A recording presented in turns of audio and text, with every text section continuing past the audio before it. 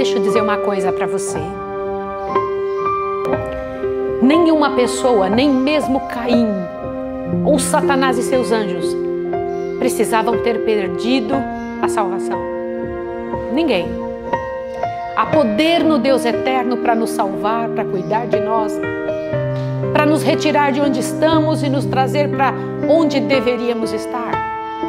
Fomos levantados como povo santo do Senhor, como povo salvo do Deus eterno. É a nossa chance agora.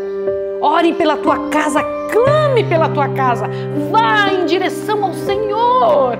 Um toque do Senhor na sua vida, na sua história. Agarra-se, agarre-se no poder de Deus, para que o Senhor Deus não faça de você um espetáculo ruim para o universo agora de você ser levantado como um troféu diante do Senhor.